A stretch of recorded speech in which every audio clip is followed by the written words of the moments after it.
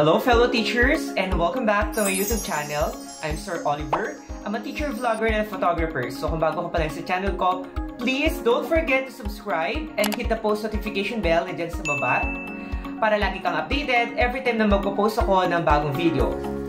So this video is in partnership and collaboration with uh, Dr. Roque. So he's the author of the book So, eto ngayon yung book na sinend sa akin ni uh, Dr. Roque na makakatulong sa ating mga fellow teachers here in the Philippines.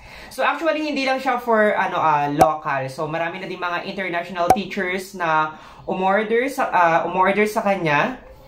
At talagang ang, ang gaganda ng mga feedbacks kasi malaki ang naitulong ng book na ito. So, this book is designed to help our fellow teachers to solve their classroom problems. So, let's talk about action research. So, yung action research, so I already explained the definition of action research on my previous uh, video. So, ayan, panoorin nyo na lang. And then, nagbigay din ako ng mga suggested titles na pwede nyo magamit. Oh, so, bago ang lahat, gusto ko munang pasalamatan si Dr. Roque. So, thank you so much, uh, sir, for sending me a copy of your uh, book. So, this is very helpful, especially in today's time. So, napakaraming mga arising problems, mga classroom problems na pwedeng i-adapt ng bawat district or division sa kanilang mga lugar. So, ang gagawin ko ngayon ay i-review natin yung uh, book na ito. So, uh, titingnan natin kung ano ba yung mga nilalaman ng book na ito para magkaroon kayo ng idea kung ito ba it's worth the price para bilhin. At ano ba yung mga content or yung mga nilalaman nito na kaiba dun sa mga action research book na meron na kayo? Pero ang tanong, paano ba tayo makakagawa ng isang action research? So, this book is designed for everyone, lalo na dun sa mga fellow teachers natin na nanonood na walang idea sa paggawa ng isang action research. Of course, me myself, alam ko na makakatulong ito sa akin, lalo na sa paggawa ng mga educational research at yung sinasabi kong action research. So, ngayong school year 2020-2021 ay napakaraming problems and challenges na kinakaharap ng ating mga teachers, lalo na sa ating educational system. So, doon pa lang ay talagang makakapag-isip ka na or napakadami ng mga naka-line up na classroom problems na pwede nyong gawa ng action research para ito ay masolusyonan at makatulong sa ating mga kapwa nating guro, not only sa ating school, pwede rin sa district or kaya naman ay sa division office. So, ito yung libro. And then, ang title ng book na isinulat ni Dr. Roque ay basahin natin. Simplified Approach in Doing Research with SPSS Application. A Classroom Action Research Perspective. Of course, pag gumawa ka ng isang action research, it should be contextualized kasi marami tayong fellow teachers na nagtatanong, pwede mo ba akong mabigyan ng isang title? Pwede mo ba akong mabigyan ng isang problem? Of course, ikaw lang po ang makakasagot nan kasi nga, it is contextualized. Ibig sabihin po, kung ano yung uh, existing na problems doon sa school nyo, yun yung gagawan mo ng isang action research at yun yung iyong sosolusyonan. Of course, iba-iba din naman po yung konteksto ng eskwelahan, whether kung anong modality yung ginamit. So, alam ko na marami sa eskwelahan ang um, modular yung ginagamit nating um, modes of learning. Of course, pwede tayo gumawa ng research ng effects or factors affecting the academic performance of students nowadays na walang face-to-face -face classes. So, dun siya sisimulan.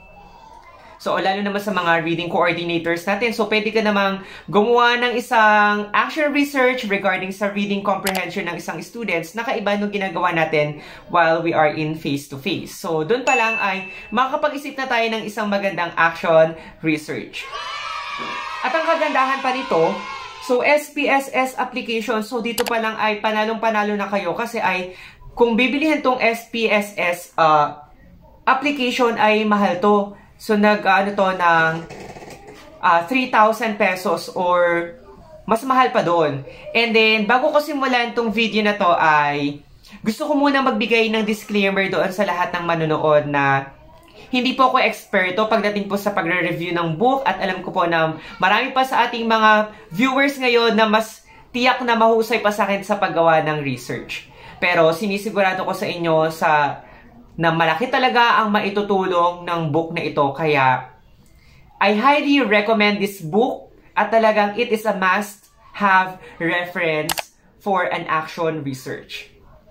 So, what I really love about this book ay yung statistics part. So, since uh, I'm a math major, ayan, so, of course, this book is not designed only for all math majors out there. So, pwedeng-pwede rin to sa ibang mga uh, teachers na iba yung field of specialization, such as English, science. Of course, lahat naman po ng research ay ginagamitan ng hypothesis testing. At, of course, talagang magko magkakaroon tayo doon ng uh, computation. Yung iba nating teachers ay humihingi ng tulong sa kanilang mga math major friends or kaya naman ay humahanap sila ng statistician na sabihin na natin na may kamahalan talaga yung bayad para lang matapos natin yung isang thesis. So, with this uh, book, talagang i-guide ka nila sa tamang paraan kung paano mo mai-interpret or paano mo ma-analyze yung data. Minsan kasi sa research natin, mali yung ginagamit nating scale. Mali yung ginagamit nating test. So, ibig sabihin, kapag mali yung ginamit mo, na instrument when in terms of uh, treat, treating your research. So, magkakamali ka na sa pag-interpret ng data. So, dito ay napakadami kong natutunan. So, uh, na-receive ko siya kaninang umaga. Kasi gabi ko to film yung tong video na to. At binasa ko siya. As in, sobrang dami ko na talaga natutunan. And, excited na excited na ako na magamit ito para makabuo ng isang action research. Ayan. So, ang ibig sabihin po ng SPSS, yung Statistical uh, Package for the Social Sciences. So, ito yung a software package with all statistical tools. The only need of a classroom teacher researcher is to use this frequently in analyzing formative and summative test result. A classroom teacher researcher may, may also use any other version fit to his or her liking. Of course, we are all familiar with uh, the measures of central tendency, sa pagkuha ng average, the mean, median, and the mode. And ang kalimitan ginagamit is yung measures of variability, yung pagkuha ng variance, standard deviation, skewness, at yung mga familiar tayo na test just like yung mga Pearson R momentum correlation. Uh, meron tayo ditong um, chi-square, We have the t-test for dependent and independent uh, sample means. Ayan, meron tayong z-test or z-score at marami pang iba. So, nandito, nakalagay dito ay detailed na detail with the use of application. So, unlike before na kailangan mo pang ilista, so using or kaya ma mano-mano mo kino-compute yung mga data pero dito with the use of the applications, ayan, na nakalagay dito kung paano siya ginagamit talagang alam mo yun, um, magka-come up ka sa isang magandang result at talagang magiging maganda or tama talaga yung pag-analyze mo ng mga data na meron ka based doon sa iyong uh, research problems. So, yon. So, para magkaroon kayo ng idea kung ano ba yung nilalaman ng book na to, kung kayo ay merong doubt na kailangan ko bang bilhin yan, so, ipapakita ko sa inyo kung ano ba yung mga nilalaman ng book na ito. Nakalagay dito sa forward, the realization of this book crafted in the midst of the COVID-19 pandemic quarantine to serve as reference material of classroom teachers doing action research is the demand of the author's service to his fellow educators across the Mimaropa region and he never thought na hindi lamang doon sa region nila makakatulong to but all throughout the Philippines guys. At isa pa sa kagandahan dito sa book na ito ay yung paggamit ng SPSS application. Ayan. And then, nagbigay din dito ng classroom-based examples na magagamit ng teachers para maging guide sa paggawa niya ng sarili niyang action research. Then, ito naman yung table of contents. So, kung paano inorganize yung content ng book na to. And it is divided into several parts. And then, letters yung uh, ginamit sa kanya. Yan, we have here letters A to A to L. Ayan. And then, we have here the appendices. Nagbigay din ng sample sa dulo. And then, you have here the list of tables na ginamit. Then, bibigyan ko lang kayo ng konting pasilip ng bawat parts ng book na ito. You have here the part A, And then you have here the part B is making a review. Of course, review is very important in a research. And then that's the time that you have to conceptualize your research problem. And then designing methods for a classroom action research. Uh, writing an action research proposal. Uh, implementing the pro, uh, the proposed action research. Of course, dito talaga ay sobrang dami nyong matutunan and most importantly, on how to analyze the data gathered utilizing the SPSS. Kasi sa paggamit ng SPSS dito, pinakita yung talagang step-by-step process And then, para makakuha ka ng magandang findings, of course, drawing conclusions and offering recommendations. And then, makakapag-craft ka na ng final manuscript mo and then you have to prepare for the oral defense. And then kailangan mo isite lahat ng resources na ginamit mo. And then appending necessary information. So yun lamang. Magandang araw sa lahat. Pinasasalamatan namin ang isang tao si Ginoong Oliver Ortez sa kanyang paanyaya na magkakaroon ng book review sa kanyang YouTube channel. At ito ay isang partnership o collaboration between uh, Sir Oliver and myself. Uh, pinasasalamatan ko rin ang bumubuo at tumutulong sa reproduction ng aklat, ang aking asawa, Charlene Bunda Falible at ang aking mga anak, si Charm, si Colin, and si Searcher kung sila, kung saan sila ang tumutulong sa pag uh, reproduction nitong mga aklat na ito. Pinasasalamatan ko rin ang aking kapatid, si Ginoong Nixon Fabilion Falible sa kanyang oras na inilaan sa pag-proofread ng aklat na ito.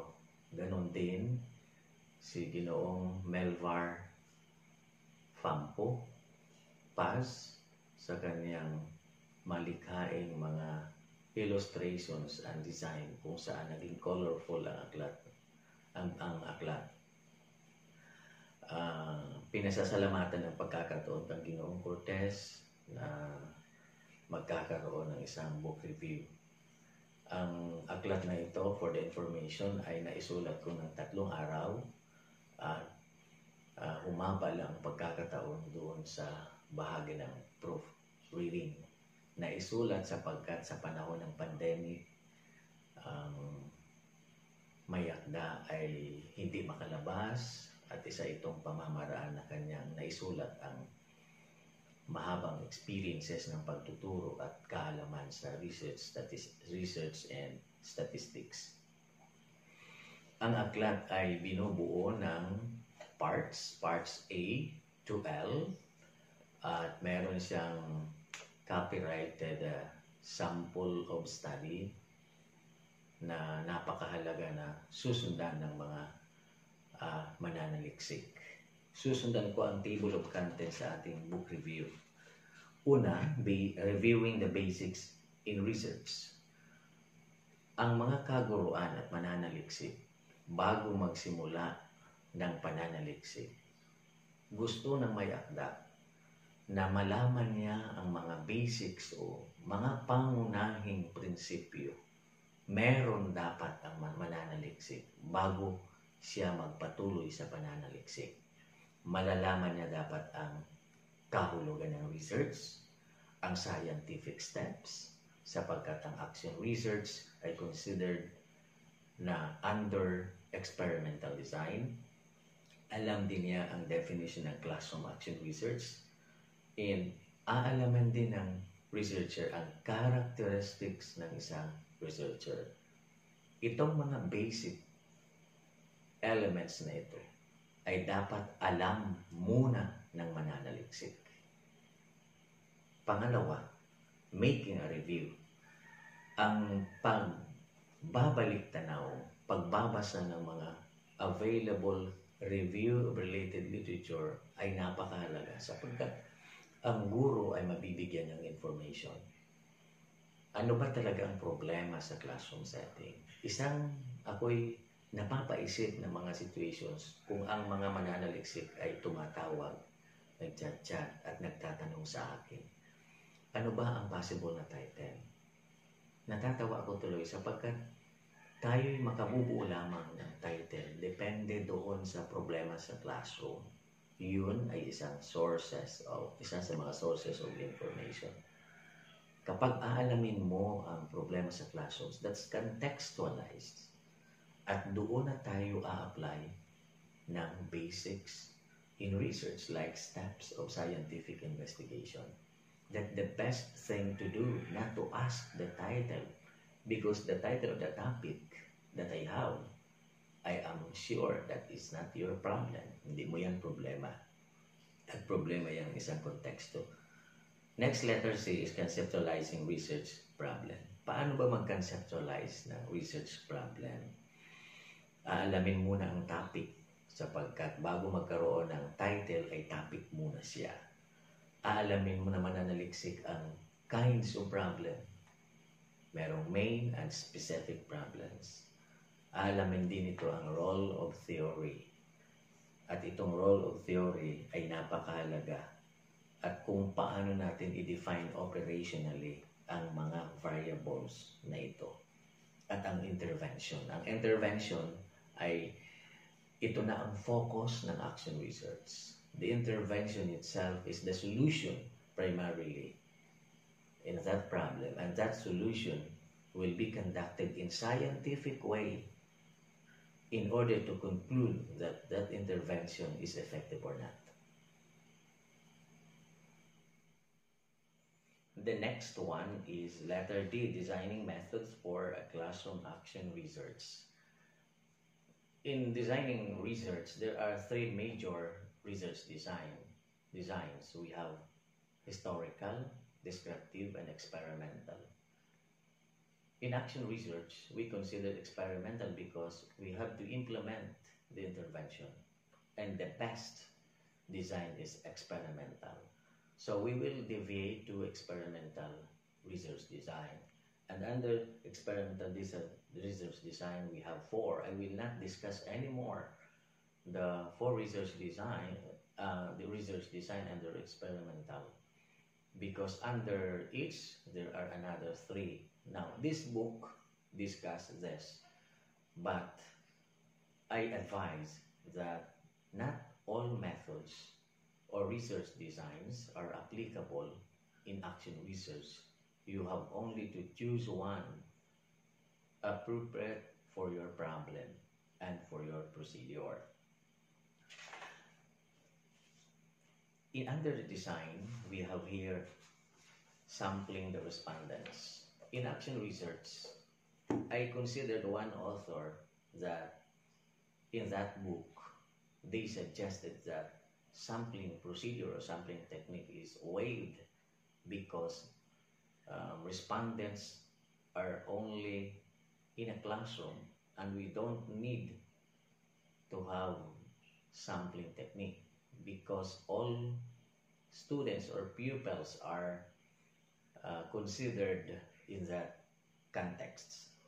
In this part, we consider we, we introduced an analyzing data, the descriptive analysis, correlation analysis, and inferential analysis. And this analysis, there are appropriate statistical tools and they are discussed here and on how also to interpret analysis results. Meaning to say, this book is under quantitative research. And you know, action research is under qualitative research in the sense that if the respondents or the subjects of the study are very few, like two or three or four, that is for qualitative research because we don't need to apply statistical analysis. However, if you consider whole class, 30 to 40 students, we can apply.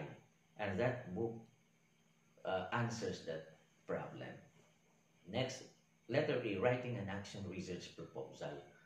So here, the author suggests what to write and how to write, the tenses, and other technicalities in writing the proposal. The essential elements of the proposal are discussed here and how these essential elements will be written. The next one is implementing the proposed action research. You have to implement that and this implementation stages are three. Pre-implementation, during implementation, and post-implementation. So in this implementation stages, you will be guided what to do. The next one is letter G, analyzing the data gathered utilizing SPSS.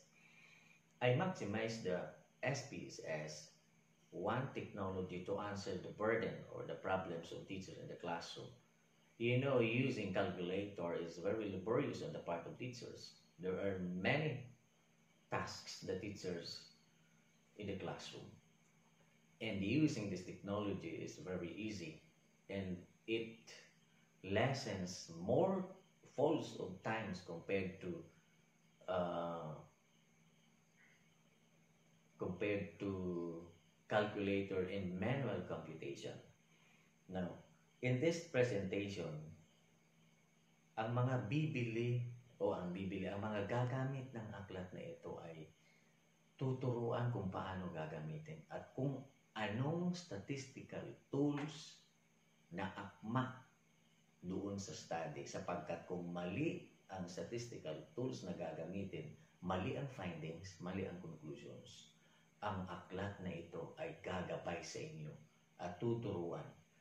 Hindi lamang sa pananaliksik magagamit ang technology na ito, subalit sa ibang pamamaraan mag-analyze ng mga problems at mga resulta ng pagsusulit ng inyong mga anak. Ito ang naiiba sa ibang mga aklat sapagkat kayo ay tuturuan pa ng napakaganda. Part 8, Presenting the Analysis Results. Ang aklat nito ay nag-o-offer ng mga example. Sa bawat, sa bawat uh, topics may mga examples. At ito, ang ginawa ko sa analysis results, yung ginamit na statistical tools ay mga examples kung paano bumuo ng isang table na ang mga data ay kinakailangan. At sa datang ito, ito ay dapat nating malaman kung paano siya i-reject or i-accept ang isang hypothesis. Sa pag-reject at sa pag-accept ng hypothesis, may mga reference values na dapat malaman ng mga researchers. Dito na malalaman sa point na ito kung ang isang intervention na ating propose ay effective or not mababasa dito sa isang rule na kung ang isang finding ay may significant relationship, significant difference, or wala, nandito ito sa bahagi nito malalaman. Next, letter I, summarizing findings, drawing conclusions, offering recommendations. In this part, based on my experience in my long years as advisor of research, statisticians, and English critic, this is where researchers ay nagkakamali palagi. Kung anong isusulat sa summary, sa findings, and conclusions. Take note this technique. The findings simply answer the specific question. If you have three specific questions, you have three findings. The conclusions answer the hypothesis.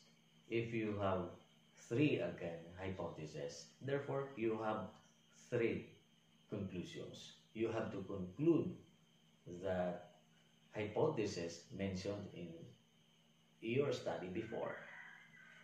So makikita natin to nagko-coincide sila hindi nagiging stray ang isang writers kung alam itong mga prinsipyo. Kasi karamihan talaga na nagpapatulong sa akin ng technical pagdating sa research, dito nagkakamali na ang nalilito. I should say, nalilito sila kung ano ang isusulat. Hindi pwedeng malito sapagkat meron tayong sinusundan.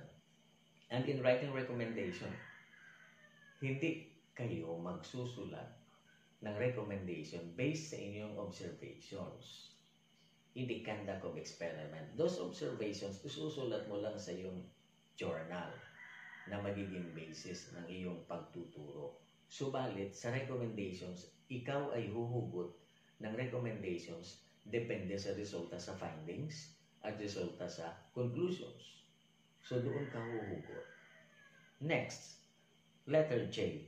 Crafting the final manuscript and preparing for oral defense. If you if you have written the proposal, that is for me, um, that is now three-fourth of your study ay naisulat na. Kinakailangan mo lang isulat ang final at ang final ay um, na-estimate natin na ito ay uh, one-fourth ng iyong isusulat pa. Di, uh, sa ganitong pagkakataon, makikita natin yung pagpalit ng tense. Yung future tense ay magiging past tense doon sa isinulat mo sapagkat ito ay tapos na. At ang pagdagdag ng abstract. Sa proposal, wala pang abstract. Sa final manuscript, meron na siyang abstract. Tayo ay tuturuan kung paano ito isusulat. Next, letter K, citing sources. Ito rin ang bahagi kung saan ang mga mananaliksik, kasama ko ang aking mga guro, na nahihirapan silang magsulat ng sources o yung tinatawag nating bibliography or references. Now, tuturuan kayo ng aklat na ang gagamitin nito ay ang Microsoft Office na nandoon sa references kung paano i-encode mo lang mga data at bahala na ang computer magbibigay sa iyo ng output. At yung output ang ilalagay ninyo doon sa bibliography. Meron din tayong in-text citation and meron out of the text citation. Napakasimple ang paggawa ng citations dito at may mga examples at hindi mahihirapan ang mga magbabasa. The last part is letter L. In this part, we have appending necessary information. Napakahalaga ang mga ebidensya. Uh, para sa kaalaman ng lahat, ang ginawang sample dito ay yung nilift ko sa aking dissertation upang mabigyan kayo ng uh, kompleto na pamamaraan kung paano magsulat at pwede na ninyong sundan ito kung paano sumulat ng mga letters, kung paano maggawa ng validation, mag-invite ng validators, and the rest na talagang uh, tutulong sa mga mananaliksik na magbabasa. Ganon din, um, inilagay sa aklat na ito, inattach ang copyright page ng isang pag-aaral na Falibly Class Size. Ito isang pamamaraan na i, i babahagi ko sa inyo nung nagtuturo ako ng statistics, nahihirapan ng mga bata yung paggawa ng class size. Kaya sa lahat ng aklat na aking binasa, walang formula akong nakita. It was 2004. At nabuo ko itong Falibly class size na conduct ng sa studies sa special science class sa Law of National High School. And then nung ako na principal sa Libertad National High School, I submitted to the National Library for copyrighted. Kaya copyrighted siya. Kung kayo magpa-copyright, pwedeng masundan ninyo ito. Kaya ang buong aklat na ito ay nakapackage sa atin. Sa bawat letra na bahagi, may mga example sa lahat ng topic. Hinding-hindi kayo mahahar- mahirapan. Another one, you can call me right away na inyong i-verify ang mga laman ng aklat at maitatanong sapagkat talagang ito'y sinulat ko para sa napakasimple, reduced ang kanyang paggamit ng mga salita na mauunawaan ng aking mga kapwa guro na nagtuturo sa loob ng classrooms. Ito ang dahilan kung bakit ito ay binuo ang aklat na makatutulong ang aklat ko sa buong sa buong division of Romblon at napansin ko ngayon ako'y nagpapasalamat sa Panginoon at sa action page uh, Facebook na aking where where I joined at inilagay ko itong aklat at marami mang nabibenefisyuhan. Sa ngayon, ang bumibili ng aklat per record from Batanes papunta sa Mindanao. At napakarami ng guro ang base sa aming record sa bumibili at kumukuha ay napakarami na nila at nung natanggap na nila ay tumatawag na sila kung may mga clarifications sa aklat na ito. And even merong international uh, level na isang foreigner na kukuha at yung ibang universities sa atin ay kumuha na na kanilang gagamitin sa teacher education na kung paano mag-conduct ang mga pre-service teacher ng action research. So, dito na nagtatapos ang ating uh, book review and ito ay ating pinasasalamatan and I hope na ang mga subscribers at viewers ni Sir Oliver Ortez ay nabigyan ng information na makadadagdag sa kanilang kaalaman patungkol sa pananaliksis. To God be the glory. Kaya naman, fellow teachers, I highly recommend this book. So, this is a must-have reference na alam ko na sobrang laki ng maitutulong ng libro na to sa inyo. Lalo na kung nagsisimula ka pa lang sa paggawa ng isang action research. So, napaka-simple at talagang maunawaan nyo ang nilalaman nito. Again, this book is a limited edition lang po. So, first come, first serve basis kaya naman kung ako sa inyo ay i-message nyo na yung author ng book na to, si Dr. Roque. He's a very approachable uh, author.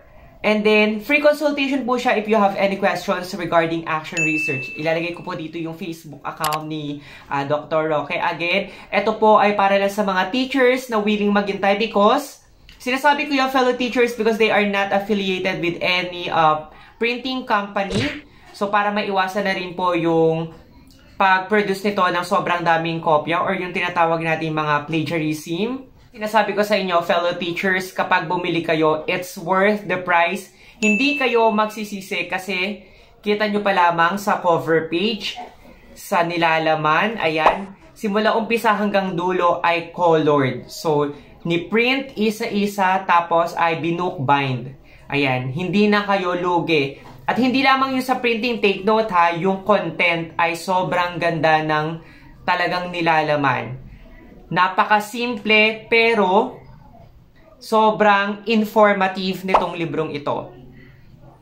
At ang isa pa, meron nga pala akong ginawa na group chat for those teachers who are willing to join. Paki-message lang po ako and make sure na ikaw ay subscriber sa aking channel. Ayan. Again, screenshot mo tong uh, YouTube account ko na ikaw ay nakasubscribe. Tapos, isasali kita dun sa group chat at doon pwede ka mag-raise ng mga questions mo at magtulungan tayo, fellow teachers. Not only para sa, sa ating sarili, para na rin sa ating mga kapwa guro at sa ating mga estudyante para naman mabuwasan yung uh, problems or mga challenges na kinakaharap natin ngayong uh, pandemic. So again, uh, maraming maraming salamat po uh, Dr. Roque for this opportunity na binigay niyo po sa akin. Not only to promote your book, but also para ma-share natin sa ating mga uh, fellow teachers yung ating mga nalalaman tungkol sa mga bagay-bagay. At isa nga sa mga mahalaga dito ay yung uh, research. Uh, kung nagustuhan mo tong video na to, give this video a thumbs up at huwag mo kalimutan mag-subscribe and see you on my next video. Thank you for watching! Oh, my, my, my.